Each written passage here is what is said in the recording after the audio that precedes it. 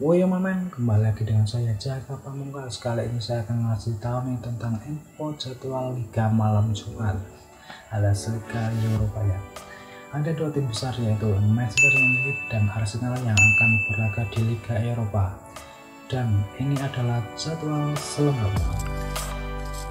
Eintracht Frankfurt akan menjamu Arsenal pada Kamis 19 September 2019 pada pukul 23 lewat 55 waktu Indonesia Barat dan akan disiarkan langsung oleh SCTV ya ingat SCTV bukan RCTI laga kedua ada Manchester United melawan Astana yaitu pada hari Jumat 20 September 2019 dan akan disiarkan langsung pada pukul 2 dini hari dan itu adalah jadwal lengkap Liga Eropa yang akan disiarkan langsung oleh SCTV seperti biasa jangan lupa like, komen, dan subscribe channel ini ya biar kamu tidak ketinggalan tentang informasi dunia sepak bola dan jangan lupa nih bagikan juga video ini biar teman kamu tidak kode tentang info olahraga.